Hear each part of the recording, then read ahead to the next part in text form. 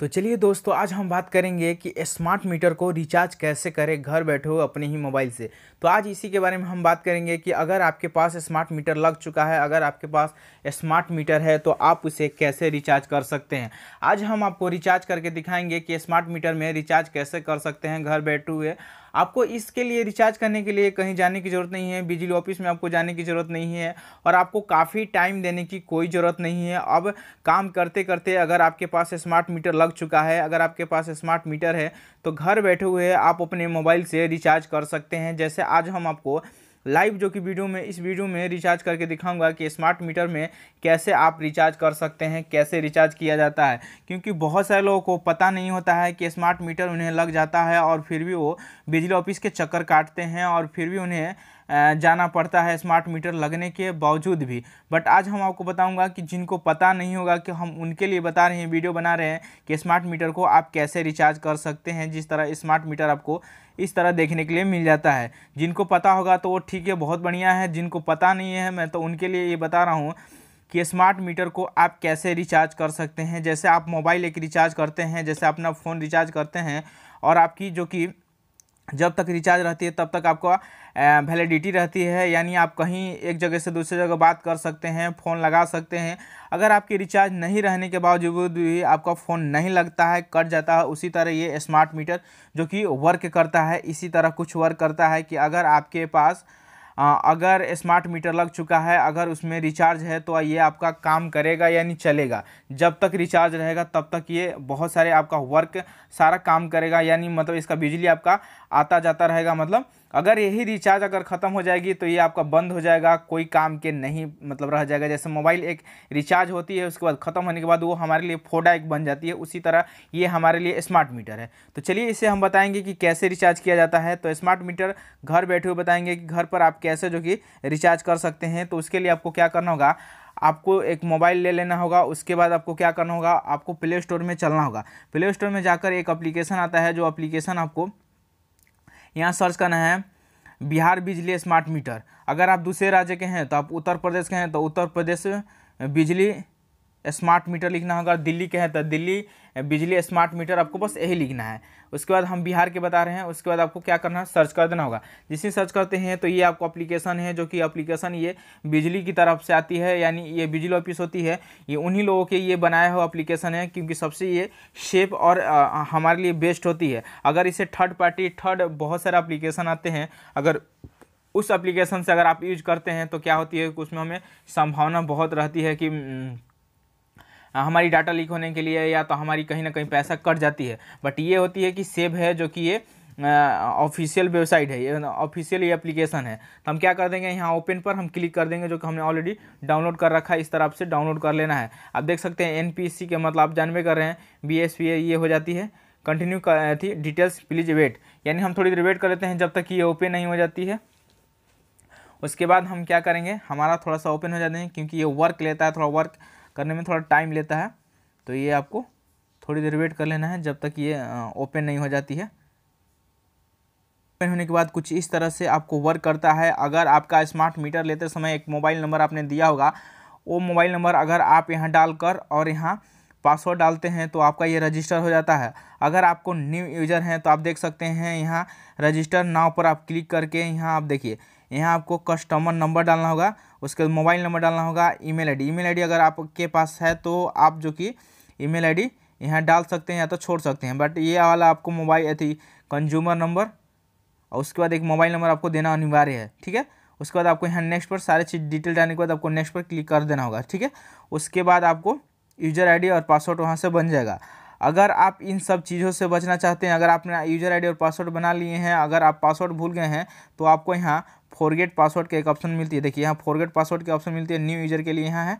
तो अगर पासवर्ड भूल गए हैं तो इस पर आपको क्लिक करके यहाँ से आप, जो कि मोबाइल नंबर थी कंज्यूमर नंबर और मोबाइल नंबर डालकर आप यहाँ सबमिट पर क्लिक करके एक आप पासवर्ड बना सकते हैं, या तो फॉरगेट पासवर्ड आपके मोबाइल नंबर पर चला जाएगा, ठीक है? अब ये सबसे बचना चाहते हैं, ये सब की झंझट है, ये सब हमें नहीं करना है तो जिन्हें डायरेक्टली मतलब पैसा पे करना है, बिजली बिल मतलब आपके स्मार्ट मीटर का तो उसके लिए देखिए, नीचे आइएगा, देखिए pay bill recharge pay bill recharge का एक ऑप्शन मिलती है, देखिए।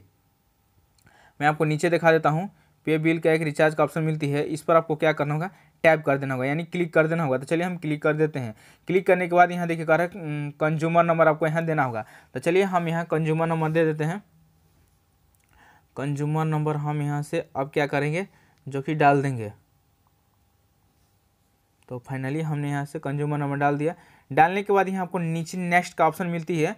मैं आपको दिखा दूँ कि यहाँ आपको नेक्स्ट का ऑप्शन मिलती है नीचे। आपको नेक्स्ट वाले ऑप्शन पर फाइनली क्लिक कर देना होगा। अब जैसे ही क्लिक करते हैं तो यहाँ आपको कंटिन्यू वाला ऑप्शन मिलती है। कंटिन्यू वाला ऑप्शन पर क्लिक कर देना होगा।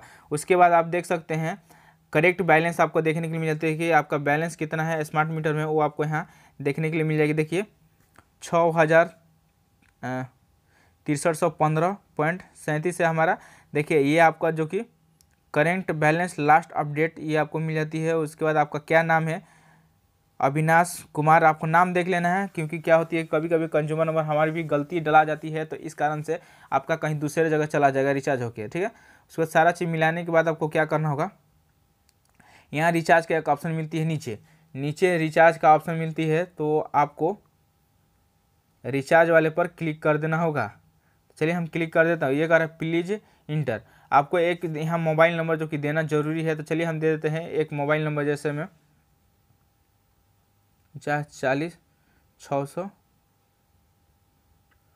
चौबीस सॉरी यहाँ आपको अमाउंट देना है।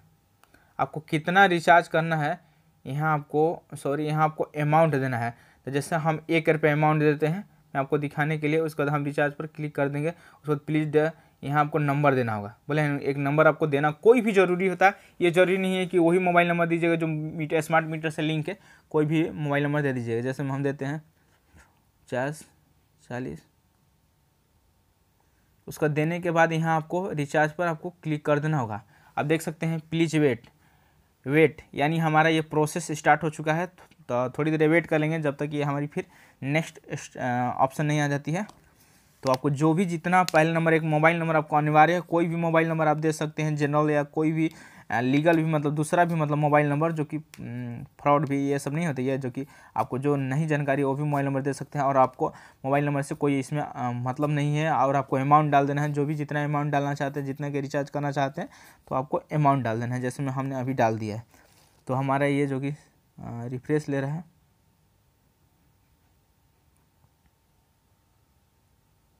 तो आपको यहाँ कस्टमर नंबर डालना होगा तो चलिए हम यहाँ से फिर से कस्टमर नंबर जो कि डाल लेते हैं।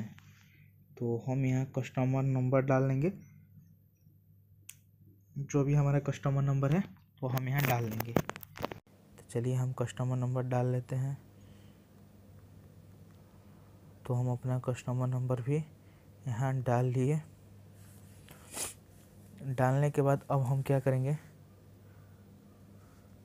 नेक्स्ट पर क्लिक कर देंगे। अब नेक्स्ट पर क्लिक करने के बाद फिर, के बाद आप देख सकते हैं, यहाँ आपको देखिए, आपको यहाँ ऑर्डर नंबर मिल जाती है अमाउंट कितना आप डालें, वो अमाउंट मिल जाती है टोटल अमाउंट कितना डाले हैं तो हम एक रुपया अब यहाँ से आपको हर सुविधा मिल जाती है कि आप किस चीज़ से करना चाहते हैं। अगर एटीएम आपके पास है तो एटीएम नंबर आपको डालना होगा एक्सपायरी डेट डालना होगा ईयर्स डालना होगा सीबीआई नंबर डालना होगा और पे थी मेक पेमेंट पर क्लिक करते ही आपका रिचार्ज हो जाएगा, ठीक है? और नीचे आपको ऑप्शन और मिल जाती है डेबिट कार्ड से नेट बैंकिंग से यूपीआई से पे लेटर से, यानी अगर आपके पास यू पी है तो यू पी पर क्लिक करके जो कि आप यहाँ यू पी नंबर डालकर भी रिचार्ज कर सकते हैं। तो इस तरह से रिचार्ज कर सकते हैं। तो हमें ये रिचार्ज करना नहीं है। मैं केवल आपको बताया हूँ कि अगर आपके पास एटीएम कार्ड है तो एटीएम नंबर से अगर नेट बैंकिंग है तो नेट बैंकिंग पर क्लिक करके और आपको यहाँ से सेलेक्ट कर लेना होगा कि नेट बैंकिंग आपका किस बैंक का है तो स्टेट बैंक तो स्टेट बैंक आपको क्लिक कर लेना होगा और यहाँ आपको नंबर डाल देना होगा। यहाँ आपको पे पर आपको क्लिक कर देना है। पे पर जैसे क्लिक करते हैं तो अब यहाँ इंटर या पासवर्ड आपको डालकर जो कि रिचार्ज कर लेना है। जैसे अगर आप बैक हो गया। अगर आप जैसे एटीएम कार्ड से रिचार्ज करना चाहते हैं या चाहे आप गूगल पे से तो आपको यहाँ यू पी पर क्लिक कर देना होगा। यू पी पर क्लिक करने के पास अब आपका कौन सी है अथी अथी, गूगल पे, फ़ोन पे जो भी है, जैसे हम यहाँ फ़ोन पे पे क्लिक कर देते हैं। फ़ोन पे पे क्लिक करने के बाद यहाँ मेक पेमेंट पर क्लिक कर देंगे नीचे। देखिए, अब हम यहाँ जैसे नीचे क्लिक किए तो यहाँ देखिए इंटर यूपीआई नंबर आपको डालकर और यहाँ से आपको मेक पेमेंट पर क्लिक करके आपको पेमेंट कर लेना होगा। तो इस तरह से आप अपने बिजली बिल स्मार्ट मीटर का रिचार्ज कर सकते हैं घर बैठे हुए। तो हमारी दी हुई जानकारी अच्छी लगती है ज़्यादा से ज़्यादा लाइक कीजिए शेयर कीजिए सब्सक्राइब कीजिए। फिर मिलते हैं अगले नेक्स्ट में। तब तक बाय बाय